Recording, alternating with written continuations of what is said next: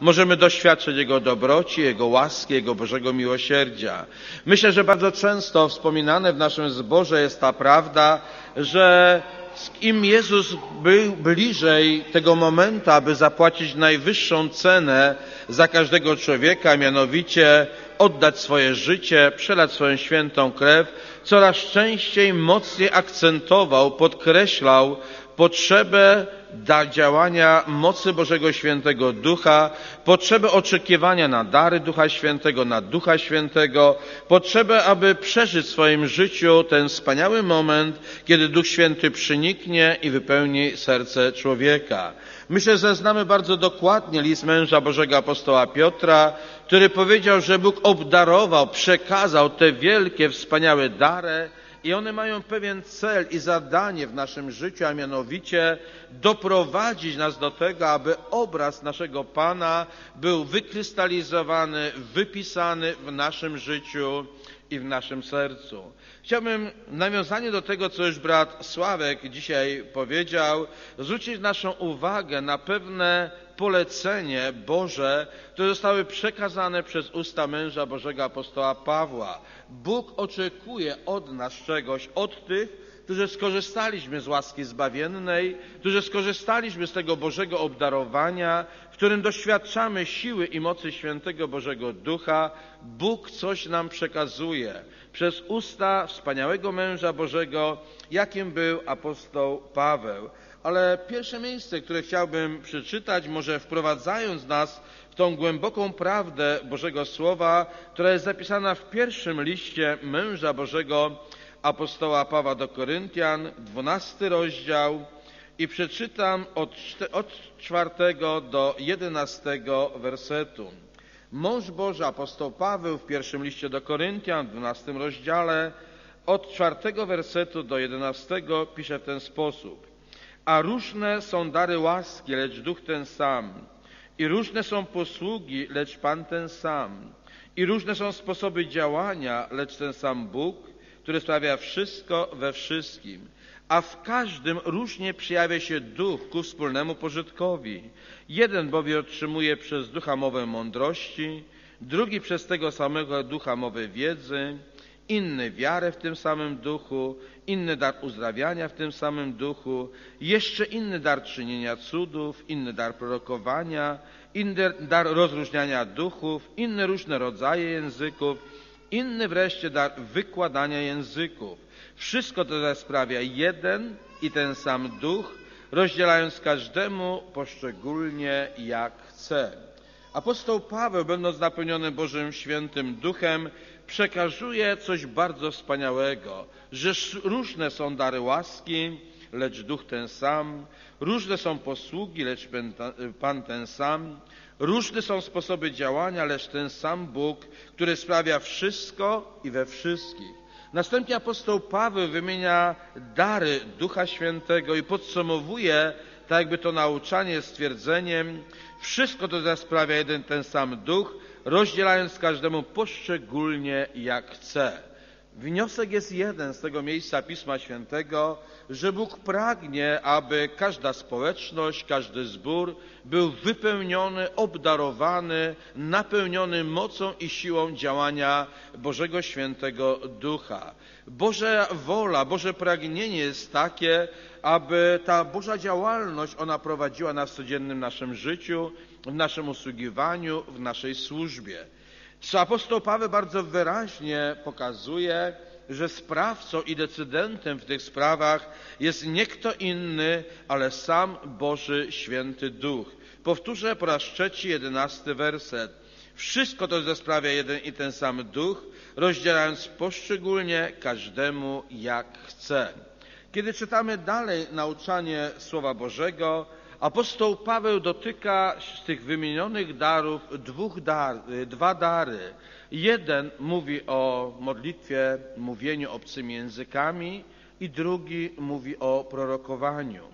Pierwszy dar apostoł Paweł bardzo wyraźnie pokazuje, że modlitwa i mówienie obcymi językami to jest Boży dział, dar, przez który Bóg buduje wnętrze człowieka, przez tą osobistą społeczność z Bogiem, przez odbiór od Boga tej treści Bożego poselstwa, tej modlitwy, mówienia w obcych języków, człowiek otrzymuje taką bliską społeczność ze swoim Bogiem. Doświadcza Jego mocy, Jego autorytetu, doświadcza Jego działania w swoim życiu, Jego wiara, Jego zaufanie, Jego nadzieja, Jego miłość, pragnienie, aby jeszcze głębiej po zanurzyć się w Bożej łasce, w Bożym pokoju, stale wzrasta. Dar mówienia językami, dar modlitwy językami. Apostoł Paweł mówi bardzo wyraźnie, że jest to Boży dar, który jest dany po to, aby indywidualnie każdy z nas, każdy posługujący się, każdy, kto skorzystał z tego Bożego przywileju, budować swoją społeczność żywym, świętym Bogiem. Z kolei, kiedy dotyka apostoł e, Paweł daru prorokowania, mówi, że z kolei ten, który prorokuje, zbór buduje. Ten drugi dar, dar prorokowania, objawienia, widzenia, ono ma pewien cel. Bóg pragnie, aby przez niego zbór wzrastał, budował się, doświadczając pewnych i odbierając od Boga pewnych wskazówek, upomnienia, nadziei, pocieszenia, objawienia, która wprowadza zbór, społeczność w tą bliską, bliską relację ze swoim Bogiem. Ostatnio w naszym zborze, dzięki Bożej łasce, mogliśmy doświadczyć coś bardzo wspaniałego. Nawet wczoraj na spotkaniu mam, naszych sióstr, które są mamami, tak bardzo krótko usłyszeliśmy takie trzy świadectwa, które pokazywały na to, jak bardzo mocno Bóg wysłuchuje modlitwy, jak bardzo szybko też Pan Bóg odpowiada na te modlitwy, udzielając swojej pomocy. Czy to modlitwy jako całości naszego zboru, braci i sióstr, którzy podnoszą swój głos wołania do żywego Boga i Bóg wysłuchując modlitwę zboru udziela swojej pomocy, czy też modlitwy indywidualnej, które nasi bracia, nasze siostry zanoszą przed tron najwyższego, żywego, świętego Boga. Kiedy sięgniemy do Biblii, do Bożego Słowa, to właśnie w liście do Koryntian czterokrotnie mąż Boży, apostoł Paweł do czegoś nas obliguje. Czterokrotnie w tym jednym liście o czymś nas przypomina i tak by chciał zmobilizować do pewnego działania. Kiedy otworzymy sobie ten dwunasty rozdział, czy zatrzymamy się na dwunastym rozdziale pierwszego listu apostoła Pawła do Koryntian, trzydziesty pierwszy werset mówi w ten sposób. Starajcie się tedy usilnie o większe dary łaski, a ja wam wskażę drogę jeszcze doskonalszą. Mąż Boży apostoł Paweł mówi, starajcie się tedy usilnie o większe dary łaski. Bóg oczekuje, Bóg chce widzieć w naszym życiu, w naszym usługiwaniu, w naszej pracy, w naszej modlitwie staranie się. Słowo Boże mówi, usilnie starajcie się, o większe dary łaski, a ja wam wskażę drogę jeszcze doskonalszą.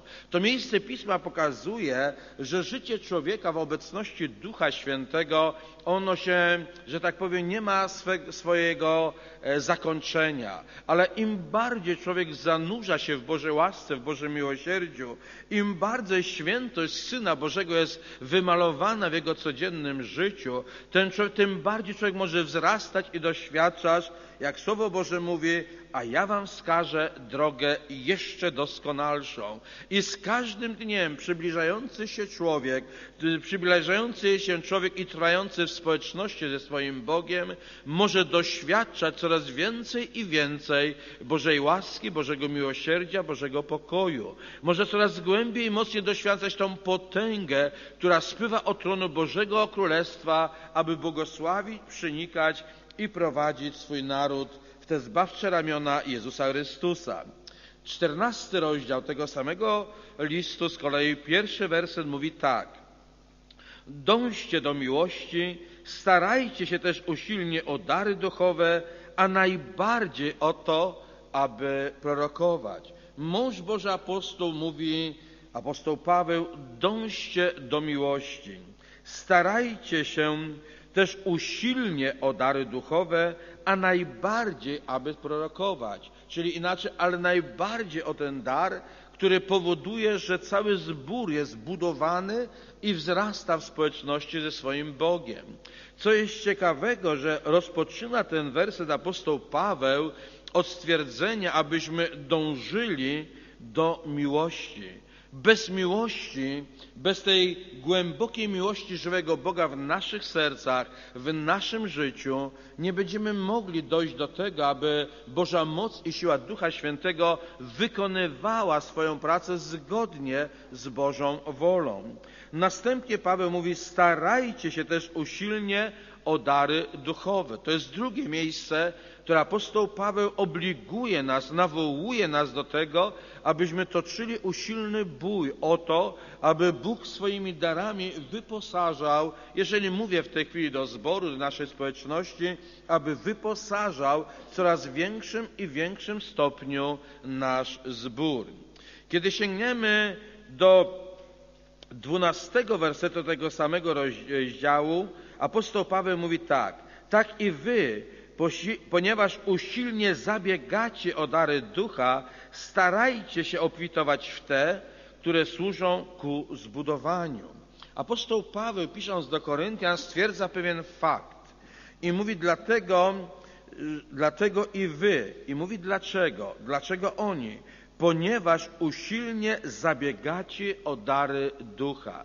I teraz można postawić sobie pytanie, każdy z nas indywidualnie, czy w tym naszym życiu duchowym, w tej społeczności naszej modlitwy, w domu, w zborze, gdziekolwiek się znajdujemy, w tym naszym staraniu moglibyśmy powiedzieć, że usilnie zabiegamy o dary Ducha Świętego, że w naszych sercach głęboko jest zakorzenione to pragnienie, to zrozumienie, ta potrzeba, aby Bóg przez dary Ducha Świętego, przez swoją obecność, przez swoją moc przekazywał, dokonywał i wykonywał swoją cudowną, wspaniałą niebiańską pracę. Apostoł Paweł mówi do Koryntian i mówi dalej, starajcie się obfitować w te, które służą ku zbudowaniu zboru. Możemy zauważyć, że troską Bożej łaski, Bożego pokoju, że zadaniem działania Ducha Świętego jest to, aby budować społeczność, aby budować zbór, aby wypełniać swoją mocą, swoją siłą i swym cudownym Bożym niebiańskim pokojem. I trzydziesty dziewiąty werset tego samego rozdziału pisze w ten sposób. Tak więc, bracia moje, starajcie się gorliwie o dar prorokowania i językami mówić nie zabraniajcie. Czwarte stwierdzenie męża Bożego apostoła Pawła, który nawołuje nas do tego, abyśmy w naszym pielgrzymowaniu, w naszych modlitwach nie zapominali o czymś bardzo istotnym, o tym, że mamy obietnicę wspaniałej działalności mocy świętego Bożego Ducha, o tym, że Bożym życzeniem, Bożą wolą jest to, aby ta działalność mocy świętego Bożego Ducha, ona prowadziła nas w osobistym naszym życiu, w codziennym naszym pielgrzymowaniu przed obliczem Najwyższego Boga i w naszej społeczności, gdzie się wspólnie budujemy i przychodzimy po to, aby wzrastać w wierze i przybliżać się do żywego, świętego Boga. Więc można by było dać krótkie pytanie, w jaki sposób powinniśmy starać się bojować o to, aby działanie i moc Ducha Świętego coraz mocniej i silniej wypełniała nasze serca. Myślę, że pierwszym takim myślą, którą mógłbym wymienić, jest to modlitwa, jest to post, jest to post, jest to rozmyślanie, zagłębianie, czytanie tych miejsc Pisma Świętego, zrozumienie, doświadczenie, otrzymanie od Boga tego, tego zrozumienia, jak wielkie, jak wielkie łaski, jak wielkie Boże błogosławieństwo zamyka się w działaniu Bożego Świętego Ducha. To jest jedna rzecz. Modlitwa, post, szukanie oblicza Bożego. Drugie to jest stworzenie warunków, aby Duch Święty mógł działać w naszym życiu. Jakie to są warunki? Duch Święty działa w świętym, czystym sercu. Sercu, które jest zanurzone w nauce swego mistrza i Zbawiciela Jezusa Chrystusa czyste, święte życie, posłuszne Ewangelii Pana Jezusa Chrystusa, to jest stworzenie, to jest nic innego, jak stworzenie warunków, aby Boży Święty Duch mógł wykonywać swoją cudowną pracę coraz mocniej i mocniej w naszym sercu. Ja myślę, że wszyscy doświadczyliśmy mocy autorytetu Ducha Świętego. Proszę zwrócić uwagę, jak daleko sięga Boża łaska. Na moment wrócę do słów naszego mistrza i Zbawiciela Jezusa Chrystusa.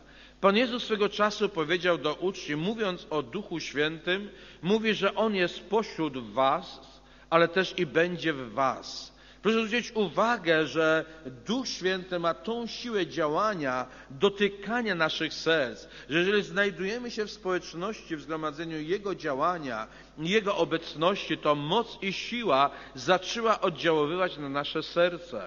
To Duch Święty otworzył nam umysł, abyśmy zrozumieli Słowo Boże. To Duch Święty spowodował, że nasze serce zrozumiało, że trzeba e, pokutować, nawrócić się, odwrócić się od złych i niewłaściwych rzeczy że należy przyjąć swego mistrza, czy otworzyć się na to, aby Jezus Chrystus przeniknął serce i stał się Panem naszego życia, to działanie i praca Ducha Świętego przez Słowo Boże otwiera nasze pragnienie, aby zawrzeć przymierze z Bogiem przez chrzest wodny, to praca Ducha Świętego powoduje i ten przedsmak Jego łaski, Jego działania buduje w naszych sercach pragnienie, dążenie do tego, aby przeżyć chrzest w Duchu Świętym i moglibyśmy tak po kolei wymieniać i coraz głębiej i głębiej zanurzać się w tą cudowną Bożą łaskę i tą nieograniczoną moc działania siły i obecności świętego Bożego Ducha w naszym sercu. Pan Jezus, kiedy odchodził z tej ziemi, on powiedział bardzo wyraźnie, że kiedy ja odejdę, poślę ducha pocieszyciela, który wprowadzi was we wszelką prawdę. Pan Jezus odchodząc z tej ziemi powiedział bardzo wyraźnie dla uczniów, że On posyła, pośle, zostanie posłany Boży Święty Duch. Pięćdziesiątnica jest tą datą, tym momentem, od, w którym wypełniła się obietnica Syna Bożego i od tego czasu aż do dnia dzisiejszego ta obietnica zgodnie ze słowami męża Bożego apostoła Piotra jest skierowana do następujących osób. Apostoł Piotr, ja nie będę czytał, znamy to miejsce Pisma Świętego, drugi rozdział dziejów apostolskich, gdzie apostoł Paweł, przepraszam, Piotr powiedział takie słowa: Obietnica ta należy się dla Was, dla dzieci Waszych i dla wszystkich, których bykolwiek powołał Pan Bóg nasz. Chwała Panu Bogu. Ta Boża obietnica dzisiaj skierowana jest do naszych serc. To Boże oczekiwanie jest skierowane do naszego życia. Bóg przez Ducha Świętego, przez usta męża Bożego, apostoła Pawła, jak już powiedziałem, kilkakrotnie raz nas przypomina o to, abyśmy usilnie zabiegali, usilnie się starali, aby ta działalność Ducha Świętego coraz mocniej, szerzej i szerzej ona działała i przenikała nasze serca. Myślę, że każdy z nas mógłby opowiedzieć, podzielić się przeżyciem osobistym, doświadczeniem tej cudownego, tego cudownego działania mocy Bożego Świętego Ducha, tych wspaniałych chwil, kiedy Duch Święty przenikał, wypełniał, otwierał nasze, nasz umysł, kierował, prowadził, stwarzał możliwość, że mogliśmy zakosztować tej niebiańskiej chwały, tej obecności naszego Pana. To były cudowne, wspaniałe chwile. I Pan Bóg przez Słowo Boże nam przypomina, jak już powiedziałem w tym liście do Koryntian, czterokrotnie mąż Boży apostoł Paweł używa usilnie zabiegajcie, usilnie starajcie. Jeszcze raz powtórzę, to staranie mógłbym ująć w dwóch punktach. Pierwszy, modlitwa, post, zgłębiania nauczania, czytanie miejsc Pisma Świętego mówiące o tej wspaniałej działalności, o tej cudownej obietnicy żywego Boga. Pozwalając przez, pozwalamy sobie przez to, aby ten temat, on coraz głębiej głębiej zanurzał się w naszych sercach, aby to słowo budowało w naszych sercach tą potrzebę, tą troskę, to zabieganie właśnie o tą cudowną łaskę Bożego Miłosierdzia. Drugie, stworzyć warunki tylko czyste i święte serce, żyjące w posłuszeństwie Ewangelii Pana Jezusa Chrystusa, wyposażone pokorą i uniżeniem, jest otwarte na to, aby Duch Święty zgodnie z wolą Bożą, zgodnie z wolą Ducha Świętego używał dane serce zgodnie, jeszcze raz powtórzę, że swoją wolą w tym dziele budowania Kościoła Pana naszego Jezusa Chrystusa. Chciałbym w tych kilku słowach e, przypomnieć nam, zwrócić naszą uwagę na to, abyśmy o tym pamiętali, że tak jak bojujemy w życiu naszym o wiele rzeczy, prosimy Pana Boga o zdrowie, prosimy Pana Boga o ten codzienny chleb i dziękujemy naszemu Bogu, kiedy spotykamy się z różnymi trudnościami, problemami, lecimy, że tak określę, użyję takiego stwierdzenia do naszego Boga,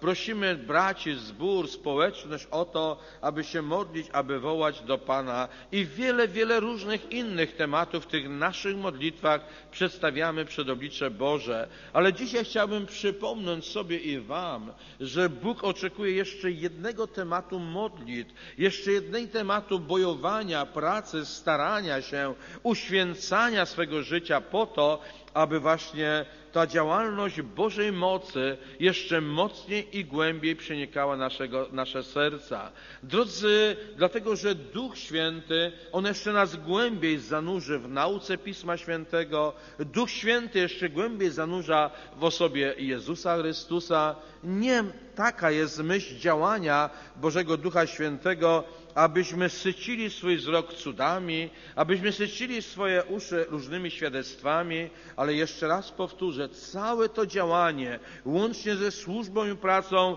szeroko zrozumianych darów Ducha Świętego, ja myślę, że może następnym razem dotknę tego tematu, dlatego że kiedy Biblia mówi o darach, to nie mówi tylko o tych dziewięciu wymienionych darach w liście do Koryntian. Zdecydowanie szerszy jest wachlarz Bożych darów, które Bóg w tym dar przez Ducha Świętego pragnie wlać w nasze serca, ale dzisiaj zatrzymał się tylko nad tą myślą, abyśmy bojowali, abyśmy o tym pamiętali, ale też trzeba pamiętać o tym, że działanie i praca Ducha Świętego, ona odbywa się w czystych, świętych i uświęconych sercach.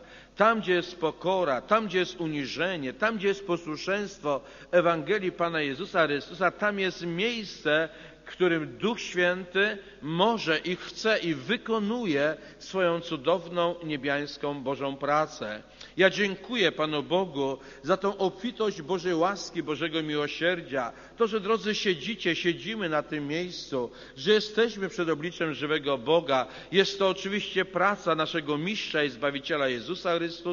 Jest to zasługa Jego przylanej świętej krwi na Golgotę, ale jest to też owoc pracy działania Ducha Świętego i w naszym osobistym życiu, i w życiu naszej społeczności i zboru. Ale Słowo Boże nam bardzo wyraźnie pokazuje i nawołuje nas do tego, aby te starania, aby ten bój, aby to znajdowało się w naszych myślach, w naszym sercu, w naszych modlitwach, w naszym rozważaniu Słowa Bożego, w naszym ciągłym pragnieniu, aby Duch Święty używał naczynia te, które On wybierze. Jedno słowo, jeżeli staramy się jeszcze o działalność i pracę darów Ducha Świętego, Słowo Boże nam tylko w jednym przypadku mówi o tym, że możemy prosić Boże, daj mi ten dar. A mianowicie Biblia nam mówi, ja już też nie będę czytał tego miejsca Pisma Świętego, że jeżeli ktoś modli, modli się, mówi w obcych językach, niech prosi, aby go mógł tłumaczyć. To jest coś, co jest zobligowany każdy z nas, kto otrzymał z łaski, z miłosierdzia Bożego tą możliwość, otrzymał ten wspaniały dar mówienia, modlenia się w obcym języku, aby prosił o dar tłumaczenia. Pozostałe dary, kiedy wnikamy w Boże Słowo, nie otrzymujemy prawa, abym mówił, Boże, daj mi proroctwo, Boże, daj mi dar czynienia cudów, Boże, daj mi dar uzdrawiania, Boże, daj mi jakikolwiek inny dar. Biblia nam pokazuje, że naszym zadaniem jest prosić, Boże, wyposażaj społeczność, wyposażaj zbór darami zgodnie z Twoją świętą wolą. Dlatego, że czytaliśmy tym dwunastym rozdziale ten, rozdziale ten jedenasty werset, wszystko to zasprawia jeden i ten sam duch, rozdzielając każdemu poszczególnie, jak on chce, jak Duch Święty, jaka jest Jego wola, On udziela zgodnie ze swoją wolą i naszym zadaniem jest podporządkowanie się pod tą Bożą wolę. I dlatego jest tak istotne i ważne, abyśmy o tym pamiętali. Dlatego, że celem, jeszcze raz powtórzę, zakończę już tym, działania Ducha Świętego, darów Ducha Świętego jest cel, który zapisał Piotr i zapisał Paweł Apostoł Piotr powiedział to, co jest zacytowane, zacytowałem, że te wielkie i kosztowne dary zostały nam dane, abyśmy przez nie przyoblekli się w naturę boską.